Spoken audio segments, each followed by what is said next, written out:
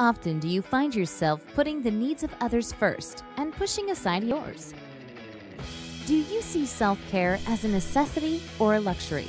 Self care is what we do to tend to our mental, emotional, and physical health and well being.